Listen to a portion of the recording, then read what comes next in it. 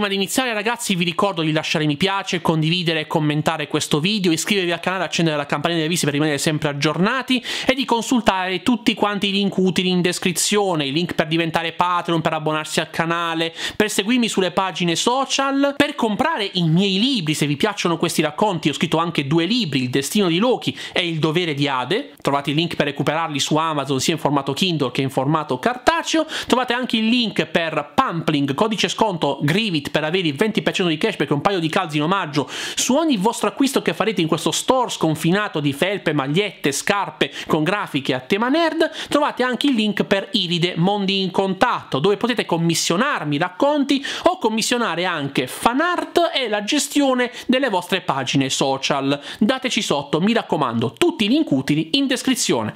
Detto questo ragazzi, buon video e buon racconto a tutti.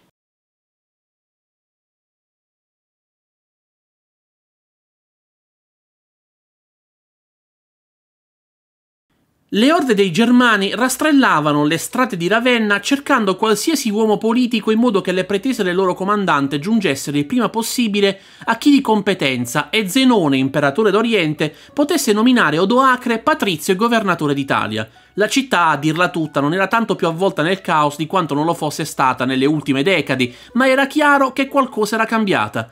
Nelle sue stanze il giovane imberbe Romolo Augustolo chinava il capo e firmava un documento ufficiale da inviare al suo equivalente in quel di Costantinopoli.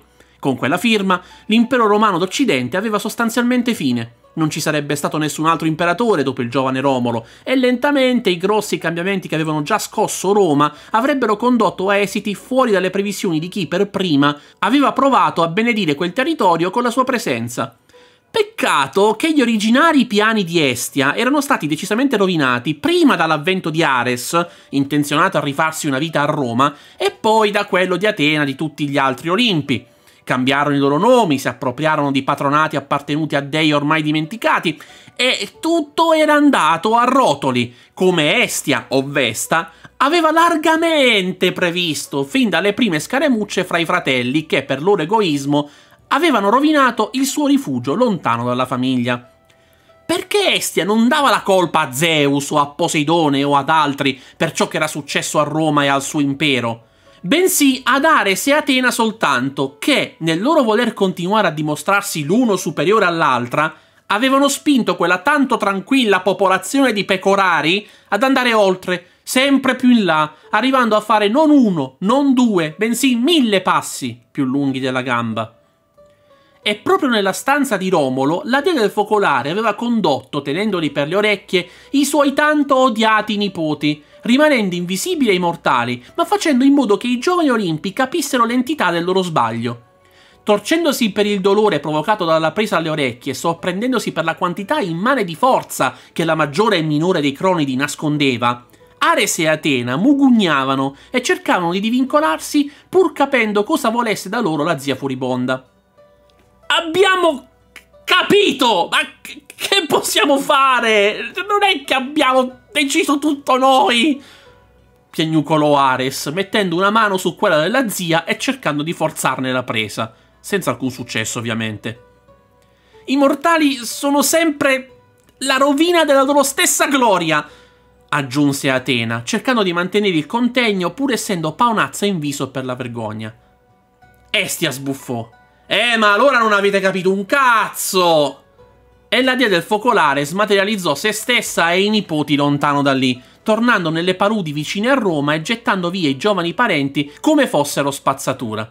I due dei caddero in un acquitrino e così insozzati dovettero affrontare la furia di Estia, letteralmente avvolta di fiamme. Divina zia, ti prego, non puoi azzardò Atena, ma la dea, sua zia, la folgorò con lo sguardo, e per fortuna solo metaforicamente. Divina zia un cazzo! Ci avete rovinato tutto! E dire che ci ho provato ad arginare la vostra influenza e persino i romani armati del loro sbattersene il cazzo della religione hanno resistito. Ma invece voi no, avete insistito, insistito. E mo? Adesso è tutto finito ruggì Estia, mostrandosi così infuriata per la prima volta davanti ai nipoti. Ma noi abbiamo dato ordine e disciplina al popolo! cercò di giustificarsi Ares. È tutta la parte migliore della cultura che abbiamo patrocinato in Grecia, aggiunse Atena, il cui ruolo a Roma, nonostante i suoi sforzi, era stato decisamente ridimensionato. No! Voi avete continuato a insistere, coglioni! Avete continuato a insegnare loro i modi di vivere che obbligatoriamente avrebbero condotto l'intera popolazione di Roma al disastro. Per l'Olimpo la città neanche si sarebbe dovuta chiamare Roma. Erano i latini, prima che sto coglione non decidesse di rovinare la vita di una mia sacerdotessa. Io non sono un... provò ad obiettare Ares. Estia lo folgorò con lo sguardo, questa volta letteralmente, lasciandolo bruciacchiato e impaurito nella sporca acqua palustre.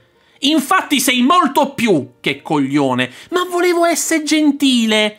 Non che tua sorella sia tanto meglio. Io ho portato a quei pecorari belligeranti la cultura e l'amore per... Esordì Atena piccata, una palla di fuoco le sfiorò la spalla e la dea, impallidendo, fu costretta al silenzio. Tutto quello che avete fatto è stato un lavaggio del cervello. Ad un certo punto non si ricordavano più neanche di adorare voi. Almeno Iside è stata una collega decisamente più pacata di voi che a furia di far vedere chi ce l'avesse più lungo avete portato alla rovina un intero continente. Poi ovviamente passiamo sopra i cristiani perché altrimenti quelle orecchie ve le stacco dal cranio. Per ora arriva Odino a Roma. Vi pare che io mi dovessi far sfrattare dal mio rifugio da un sadico vecchio cieco? Esti avanzò verso i nipoti, incutendo loro quello che molti avrebbero definito timore di Dio. E i due figli di Zeus tremarono, mentre la zia afferrava nuovamente le loro orecchie e trascinava entrambi via. Aia, lasciaci! urlarono all'unisono Atena e Ares, con un tono di voce degno di un bambino. Corcazzo! Ora ce ne andiamo tutti quanti da qui! E se mai qualcuno dovesse ricordarsi di me a Roma, voi starete alla larga dai miei domini! Chiaro? concluse urlando la normalmente pacata dia del focolare. I due Olimpi annuirono e si lasciarono trascinare dalla zia fino al Monte Olimpo, una punizione che comunque Estia ritenne fin troppo leggera per tutti i disastri che Atena e Ares avevano generato a Roma, una città che doveva diventare il piccolo pacifico rifugio della prima dei Cronidi e che per ambizioni personali sregolate era diventata un impero crollato su se stesso per la troppa tracotanza di chi avrebbe dovuto ispirarlo e proteggerlo, con buona pace della povera dea che nella penisola italica cercava solo un rifugio che fosse lontano dalla follia familiare, follia per cui, ancora una volta, aveva dovuto rinunciare a tutto. Persino l'accento romano che pian piano ho fatto scemare pur non sapendolo fare, scusatemi. Molta gente l'ha consigliato, ma questa traccia la volevo scrivere io, ve lo dico proprio chiaramente, era già in programma che la dovessi scrivere, un sequel di Focolare Furibondo. Voi tra l'altro l'avete posta in vari periodi storici, io l'ho posta proprio, tra l'altro forse era arrivata una traccia del genere, alla fine di Roma, quindi proprio alla fine del Focolare Romano, con la firma del documento per cui Romolo Augustolo cede il comando a Odoacre, ponendo effettivamente fine all'impero romano. Questa cosa in realtà vorrei dire che spero l'abbiate studiata nei libri di storia, ma tipo io per primo a scuola non l'ho studiata, cioè tutta la diatriba Uh, legale che c'è stata per far nominare Odoacre governatore d'Italia, perché Odoacre non sarà mai imperatore, sarà sempre il governatore, poi ci saranno i re d'Italia al massimo, ma gli imperatori d'Occidente smettono di essere eletti anche dopo la conquista, quindi non è che mantengono questo ruolo. E c'è tutta una diatriba di lettere fatte inviare da Odoacre a vari politici presenti a Ravenna eh, all'imperatore Zenone d'Oriente che, che, doveva autorizzare il potere politico di Odoacre dell'impero d'Occidente perché non si studia un po' meglio il crollo di Roma a scuola? Perché io mi ricordo che era un paragrafo alle elementari, il crollo di Roma, e anche alle medie. Superiori, francamente, non me lo ricordo neanche. Ma non c'era tutta questa spiegazione su, sulla prassi burocratica.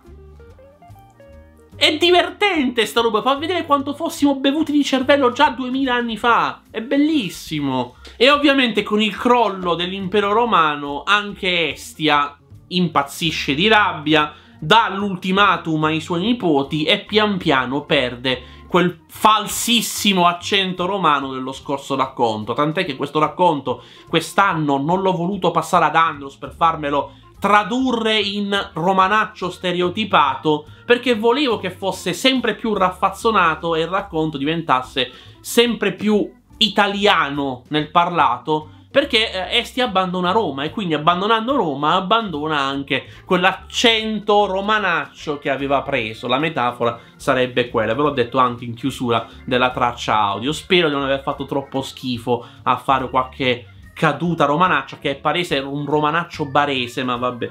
Perdonatemi, perdonatemi. Io spero che il racconto vi sia piaciuto. Trovate il link in descrizione nel primo commento fissato in alto per il testo di questo racconto. Noi ci vediamo domani col ventesimo racconto, che è un sequel che avete chiesto in tanti di un racconto che avete chiesto nel primo mitovembre in tantissimi e che già allora non volevo scrivere. Figurarsi se quest'anno perdonavo ancora una volta i protagonisti che tanto avete voluto nei racconti. Per fortuna che c'è Mystery? Era Mystery che l'ha consigliato questo? No, era Drake, era Drake, per fortuna che c'era Drake a capire la mia forma mentis. A domani.